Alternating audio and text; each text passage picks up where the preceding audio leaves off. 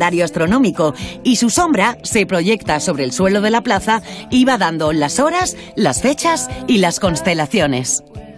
He quedado con un colega italiano de la RAI, Nicola.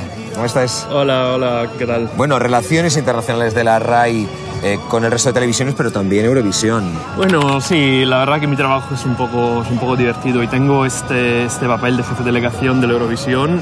¿Aquí se vive con la misma emoción que vivimos en España? Sí, un poco diferente. Yo creo que en España tenéis un poco más pasión para la Eurovisión porque nosotros estuvimos fuera del concurso por muchísimos años. Aquí es San Remo, la estrella. Aquí, aquí sí, San Remo. Por cierto, hablas un castellano perfecto. ¿De dónde viene? No, no, bueno, yo soy italiano, italianísimo, pero tengo una parte de mi familia, mi abuela, que es cántabra de Santander. Y estudié en Barcelona de intercambio universitario. Ahora lo entiendo, Nicola. El Vaticano es una ciudad-estado independiente con sus propias leyes y su policía. Tiene pocos habitantes, entre ellos el Papa, pero recibe gran cantidad de turistas y está lleno de tiendas de recuerdos. Alrededor de la basílica hay varias callejuelas tranquilas, que aquí se llaman Borgo y no vías como en el resto de Italia. La vida cotidiana dentro del Estado del Vaticano, ¿cómo es? ¿Qué tienen? El Vaticano es un estado. Mm, Dentro del Vaticano hay residencias, hay un supermercado, hay unas tiendas, hay hasta una gasolinera. Es decir, que es como ¿sabes? todo lo normal para el funcionamiento de, de una organización hecha de hombres. De índice de natalidad, como que no, ¿verdad? Bueno, menos de milagro supongo que, supongo que no. En Ángeles y Demonios, el profesor Lando... Bueno, y aquí me traes a una zona uno, eh, donde hay una pizza estupenda, que es barata y está riquísima. Sí, el- esta pizzería es muy conocida por el centro y tiene una pizza romana muy, muy económica y muy buena. En esta pizzería sirven más de 500 pizzas al día.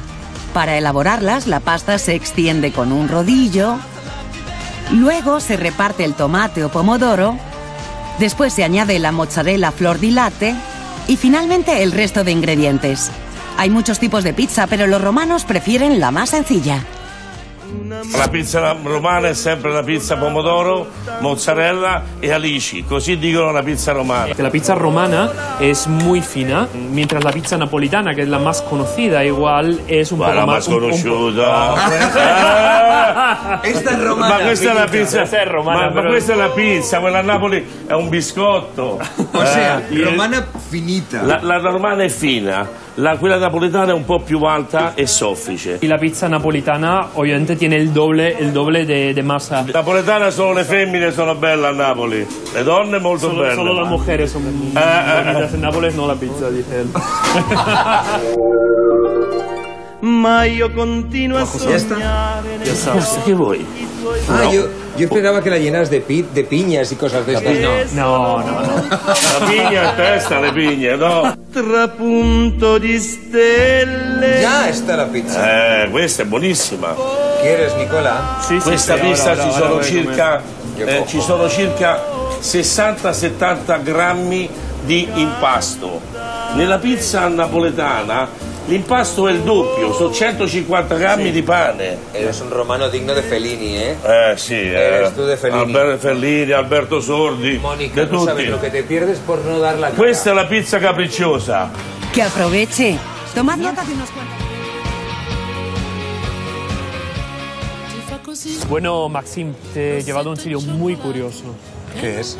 Es una sastrería donde se realiza la ropa del Papa y de buena parte de la curia romana. Es muy, muy, muy curioso. ¿La que viste a los papas? Sí, ¿Y básicamente qué, y sí. qué hago yo entonces? Bueno, no sé si te puedes comprar un traje de papa, no, pero igual algún otro recuerdo yo creo que te puedes comprar.